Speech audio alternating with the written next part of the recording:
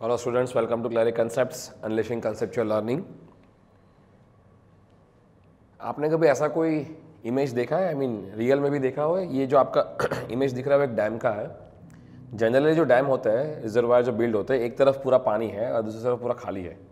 तो before they build this dam during the design of the dam उनके engineers को पता होना ज़रूरी है कि ये डैम के उस तरफ़ जो पानी है उसके कारण कितना फोर्स फील हो रहा है। तो ये फोर्स का एस्टिमेशन ड्यूरिंग डिज़ाइन पता होना ज़रूरी है। आपने कभी सोचा कैसे ये फोर्स निकालते होंगे कि भाई इतना बड़ा स्ट्रक्चर में पानी का जो फोर्स लग रहा होगा इस डैम के अगेंस्ट में, वो कितना होगा? और ये डैम को जब बिल्ड कर रहा है तो कितना फोर्स उसको विस्टर्न करना पड़ेगा रेजिस्ट करना पड़ेगा। कभी सोचा है कैसे एस्टिमेट करता है? ऐसा तो नहीं होगा कि भाई पहला डैम बना दिया और फिर देखा जाएगा कि विस्टर्न कर रहा है कि नहीं कर रहा है। तो during the design civil engineers must know the force और एस्टिमेट द फोर्स कितना लगने वाला है इसके ऊपर, जब एक पर्टिकुलर हाइट तक पानी रिजर्वायर में होगा।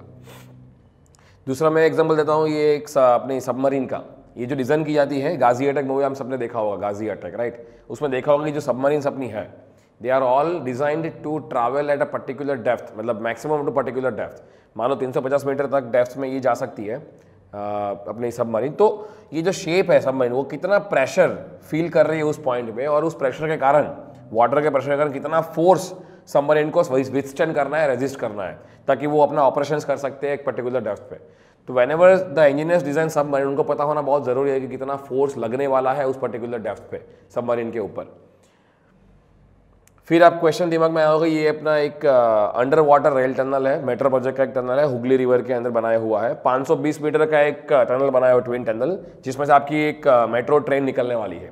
तो ये रिवर के नीचे है, तीस मीटर। तो ये तीस मीटर रिवर के नीचे ऐसा कोई स्ट्रक्चर बनाना, जिसके बाहर पानी हो, अंदर आपका एयर हो, और उस स्ट्रक्चर को कितना फोर्स लगने वाला है पानी के कारण, वो पता करना बहुत ज़रूरी है when you go for designing this structure कुछ एक लोग आजकल ऐसे होटल्स भी बनाते हैं अंडर वाटर होटल्स और ऐसे कैंपेनिंग करते हैं कि wake up with the sharks and have breakfast with them तो आपकी जो होटल्स है अंडर वाटर आपको दिख रही है, ये अंदर आपका गेस्ट रूम वगैरह हो सकता है और बाहर आपका पूरा पानी है। तो ये जब इनकी इंफ्रास्ट्रक्चर डेवलप होती है या इनकी जो स्क्रीनिंग होती है या इनके जो वॉल्स होते हैं, उनकी दीवारों के ऊपर कितना फोर्स लगता है, वो पहले से एस्टिमेट करना बहुत ज़रूरी है before even going for the erection तो इनकी डिज़ाइन में ये टेक केयर किया जाता है कि भाई उतना फोर्स वो साइन कर सके। अब एज अ मैकेनिकल इंजीनियर हम लोग आज देखने वाले हैं कि भाई ये जो चीज़ें आपने मैंने दिखाई डैम हो गया अंडर वाटर रेल टनल हो गई, ये सबमरीन हो गई, ये सारे जो फ़िज़िकल स्ट्रक्चर्स है, वो ऐसे है कि एक तरफ़ पूरा पानी है या कोई फ्लूड है। तो आज के लेक्चर में हम देखने वाले हैं, कभी भी ऐसा कोई स्ट्रक्चर है, कोई ऐसी वॉल है, जिसकी एक तरफ़ पानी है तो कोई भी फ्लूड है तो उसके ऊपर लगता हुआ फोर्स जो है वो कितना है? वो कैसे एस्टिमेट करते हैं? तो आज का लेक्चर उसी को डेडिकेटेड है कि भाई how to calculate the force due to the pressure of water और एनी फ्लूड एक तरफ़ जो है उसमें, ठीक है?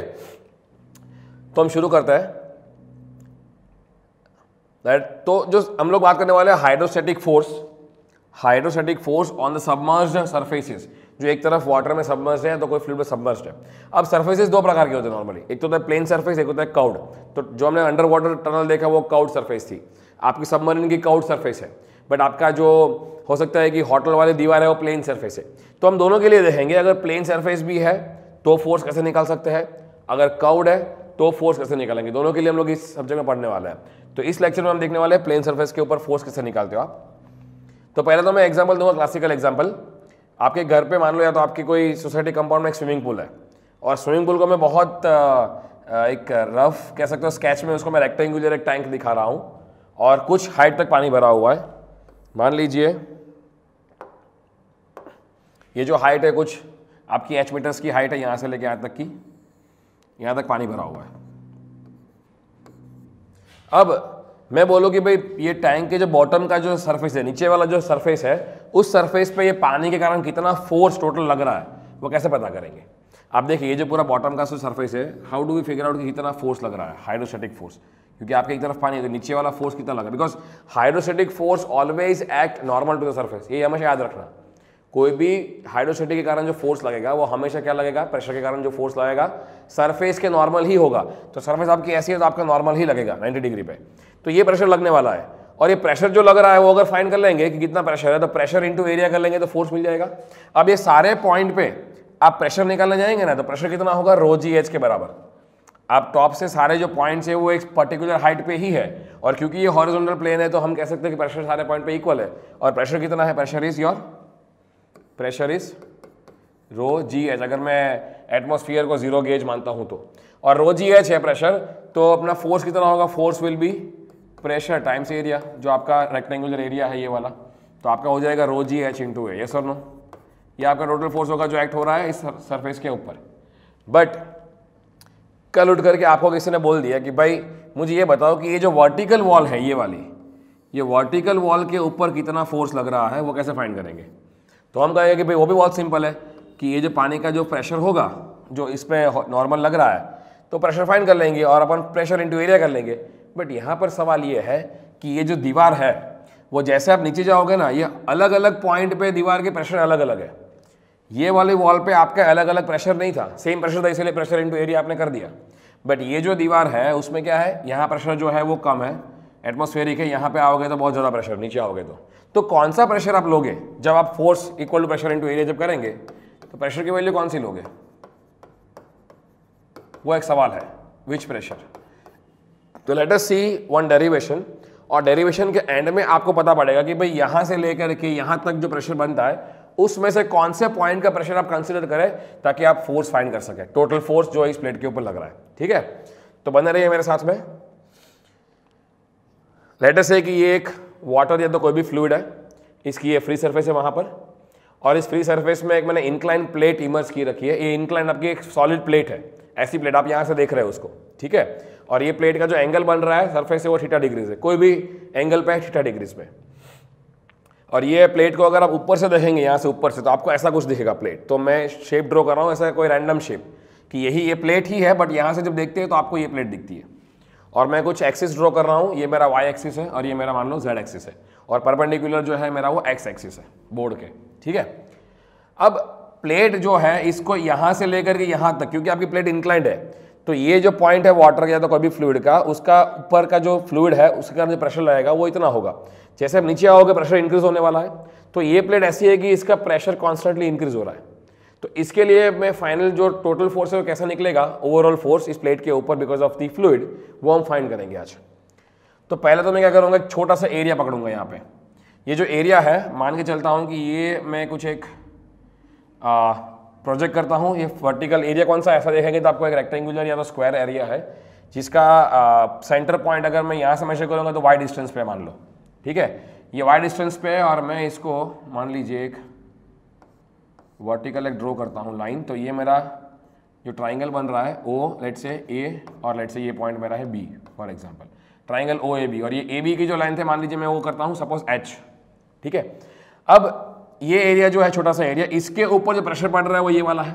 इसका प्रेशर का मैं वैल्यू हूँ सपोज़ प्रेशर पी है, ठीक है? अब इस छोटे से एरिया के ऊपर बिकॉज़ ऑफ़ प्रेशर पी और ये एरिया का मान लो, जो वैल्यू है वो है डी है।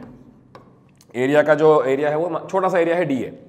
तो छोटा सा फोर्स जो लगेगा वो कितना होगा? छोटा सा force D F is equals to जो प्रेशर लग रहा है वो इंटू एरिया क्योंकि एक वैल्यू ऑफ़ प्रेशर यहाँ पर होगा, छोटा सा प्रेशर प्रेशर कितना होगा? मान लीजिए कि पी ए जो आपका है वो एटमोस्फेरिक है। तो उसको हम मान लेंगे पी ए और पी ओ सेम ही होगा। तो मैं कह दूँगा कि प्रेशर जो पड़ रहा है वो कितना है? हाइड्रोस्टेटिक लॉ के हिसाब से पी ए इस पॉइंट पे प्रेशर जो है वो पी है। तो इस पॉइंट पे प्रेशर कितना होगा? P A plus rho G H तो P A plus rho G H ठीक है? अब डी ए तो एज इट इज़ है। अब अगर इसको देखेंगे, ये छोटा सा एक फोर्स निकला यहाँ पे। अब ये एच है वो क्या है? सी लुक एट एच ये ट्राइंगल ए बी और ओ लेते हैं। ए ओ बी इस ट्राइंगल में। एच मेरा क्या है, इसको मैं थीटा को यूज़ करूँगा। तो कह सकता हूँ कि भाई वाई या तो opposite by hypotenuse sine theta is equals to opposite by hypotenuse तो मैं यहाँ पे लिखता हूँ sine theta is equals to opposite मतलब एच और हाइपोटेनस मतलब वाई तो इसको मैं थोड़ा एच की वैल्यू को रिप्लेस करूँगा तो एच क्या हो जाएगा? H will be equals to Y sine theta तो मैं यहाँ पर लगा दूँगा, क्योंकि मुझे आगे जाकर के वाई यूज़ करना है। H is equals to Y sine theta और ये आपका डी तो ये मेरा क्या हो गया? छोटा सा फोर्स छोटा सा एलिमेंटल फोर्स डी एफ़ तो इस एलिमेंट के ऊपर इतना फोर्स लग रहा है। तो मुझे तो क्या चाहिए कि पूरी प्लेट पे कितना फोर्स लग रहा है वो चाहिए। तो हम लोग उसको मैथमेटिक्स में उसको इंटीग्रेशन कर सकते हैं। बिकॉज़ अलग अलग पॉइंट में ऐसी बहुत सारी मैं प्लेट ले लूँगा, छोटे छोटे टुकड़े। बहुत सारे ले लूँगा, हर एक के ऊपर फोर्स फाइंड कर लूँगा डीएफ तो D F one D F two D F सबको ऐड कर दूँगा। तो मुझे रिजल्टेंट फोर्स मिल जाएगा। तो रिजल्टेंट फोर्स को मुझे फाइंड करना है। तो resultant force will always be integral area integral of DF आपको इस डीएफ को इंटीग्रेट करना होगा पूरे एरिया के ऊपर, पूरे एरिया के ऊपर तो जाके आपको रिजल्टेंट फोर्स मिलेगा। तो मैं डीएफ के बदले रिप्लेस कर दूँगा इस इक्वेशन में। थोड़ा मैथमेटिक्स जाएगा, समझना बहुत ज़रूरी है। डेरिवेशन छोड़ दीजिए बट जो फाइनल फॉर्म है ना, उसको समझना बहुत ज़रूरी है, उसका मीनिंग क्या है? तो मेरे साथ अभी डेरिवेशन में रहिए आप। डी के बदले में वैल्यू डाल रहा हूँ P A plus rho G Y sine theta और इसमें डी ए तो ये इंटीग्रल दो टुकड़े में डिवाइड हो सकता है पी ए वाला अलग और ये वाला अलग। तो एफ़ आर को मैं करूँगा और जो भी चीज़ कांस्टेंट होगी, उसको मैं इंटीग्रल के बाहर निकाल लूँगा।